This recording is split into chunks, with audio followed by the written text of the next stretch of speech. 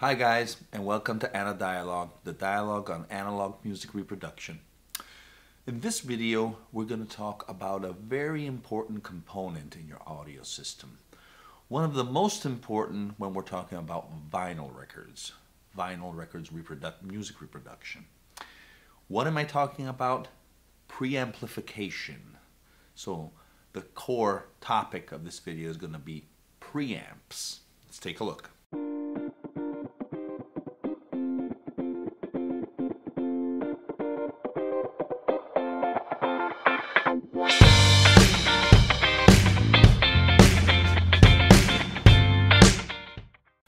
Okay, so what is a preamp?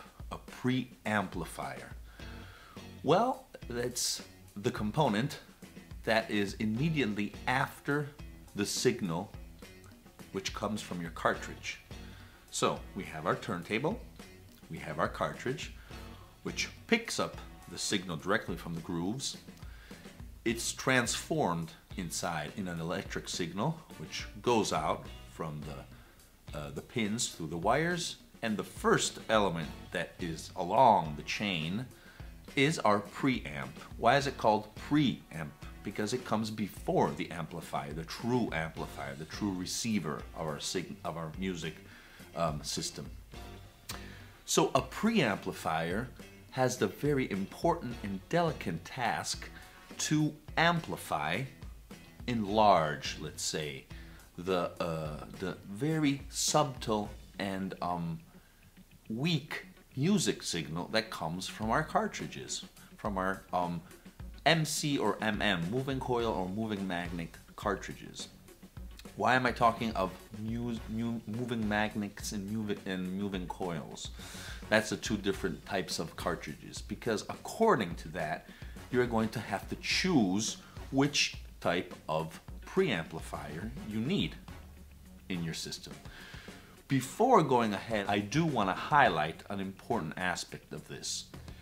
Please do not buy turntables with the preamplifier on board. I mean, obviously they're going to cost much less. Like, um, for example, Audio Technica has, I would say, some good, um, decent uh, models with a preamplifier on board. Why is this done? Because people do not want to have to fuss around to try to understand what you need along the, the signal chain because obviously um, the music reproduction through vinyl isn't that easy. It's not an MP3 file which you press play and then and you have it. No, it's a little more compli complicated, but I think that's that's the cool part of this music reproduction. Also because you can have the power to change the components to reach a good quality. Otherwise, if everything is already set, you can't do anything. I mean, you're stuck with that. Then if it's not good, how it's probably gonna not be, since when a preamp is integrated inside a, a turntable, usually, I would say always, in all, in all cases, the sound is not gonna sound that good. The music is gonna be rather harsh, I must say. Since uh, I, I, I know this because I, I, I've changed a lot of preamplifiers in my early stages, and I was spending very few um, euro, dollars, whatever, whatever it is, and finally I decided to spend a little more, not not thousands of of dollars or euros or whatever we're talking about, and not even I would say just a few hundreds if you are willing to do that. I think it's worth the money. Obviously, it's not cheap. I'm not talking about a few dollars like in other solutions I've, I've discussed in other videos. Here, I would say uh, you need to spend a few couple of hundred dollars or hundred euro, but you will have an excellent product for your lifetime. So, I will talk mainly talk today of my discovery, which is already uh, an old an old model, an old an old version of a preamp, but that's that's not um, a bad thing. I'll get to it. So this is my preamplifier, the Lehmann Audio Black Cube. This is a German house, Lehmann Audio, an excellent manufacturer. And I must say that when I introduced this little guy in my system, the music changed completely. I finally reached a high fidelity, a high quality music reproduction from my records. Up until then, for example, I was using my the preamplifier already present in my amplifier, in my receiver. That's another thing, another aspect that I would highly recommend not to use. I have an excellent amplifier, maybe one day I'll show it to you, we'll talk about it, but the preamplifier is not good. I mean, you're killing the sound there, unfortunately. You would think also that the length, the, the closeness from preamp to amp would help will inc- mm, the signal, the, the, the direct contact between the two parts. Well, yes, probably that, that, that, can, that can help the signal, but if the preamp is not of high quality, unfortunately, it, you're not going to have a good music signal. So, as I was saying, this is an excellent product. You can find it used on the market. Look for it in America, in Asia, in Europe, mainly in Europe. I'm sure you're gonna find because this had a lot of success. Now there's a new model, which I assume it's it's even better. But if you don't want to spend that much, too many, too much um, money on it, try to look for this in the in the used market. I guarantee you will be very satisfied, especially if you're coming from your preamp integrated in your uh, turntable or in your receiver. Make sure, if unfortunately you do have a turntable with your preamp already inside, make sure that the music signal has a line out. In that case, you can connect directly that to your preamp. Otherwise, it, it, you're going to have a problem there because the, the, the, the music signal has already been preamplified and you cannot do that twice. Otherwise, you're going to degrade the sound. You're going to have some issues with your with your system. What is an important part of the Black Cube and any other preamplifier you are planning to buy? Well, the most one of the most important aspects is surely to have the power uh, part of the amplifier. What is going to give the electric current to your preamplifier must be separated from the preamp.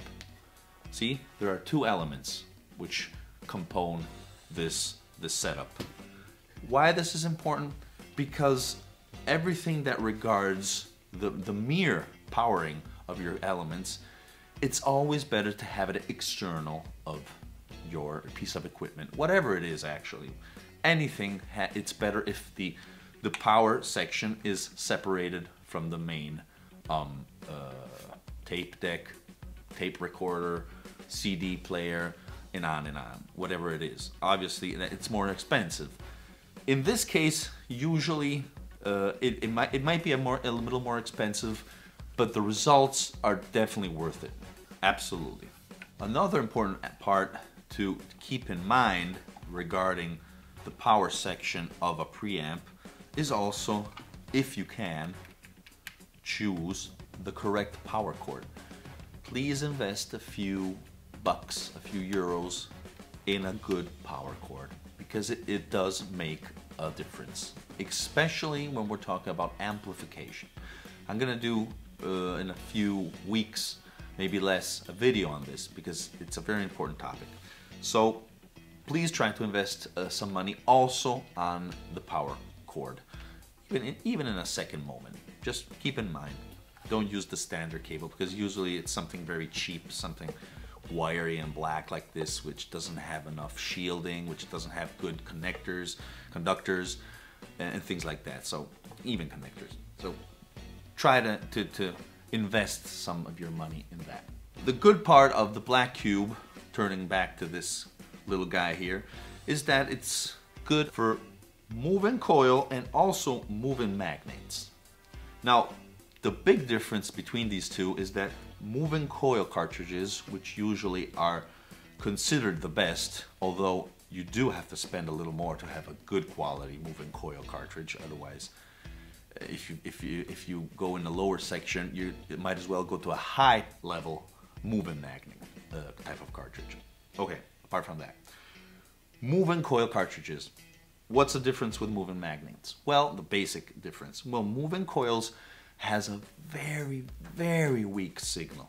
I mean, it's really, really subtle.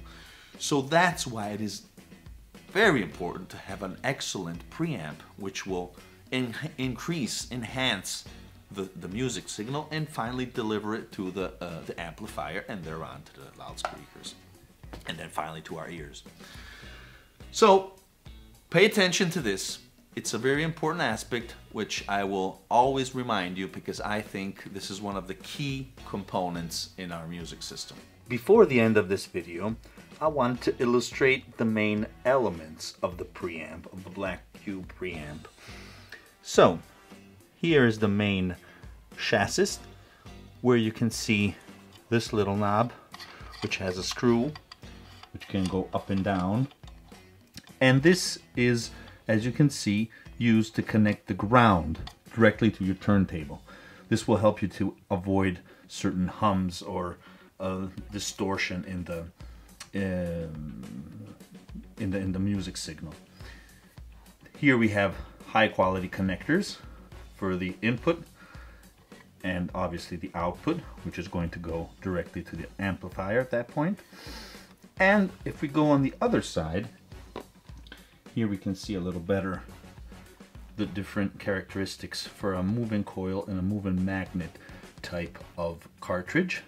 As you can see, here you have some switches which uh, allows you to change the gain of the, mm, the music signal, which practically means the, the amount of electric current for um, what you're going to use, which the typology of cartridge you're going to use. Both um, have to be completely symmetrical, completely identical, both switches. And that's about it. As you can see, this is the power cord, which is directly connected to it. You can't not change this, but you do can change the power cable in the power section. Well, okay guys, I hope you like this short video. Uh, please subscribe to my channel if you're enjoying these, these videos and I hope to come out with other excellent or in, interesting at least videos in the next weeks. Bye guys. Thank you for following me. Bye.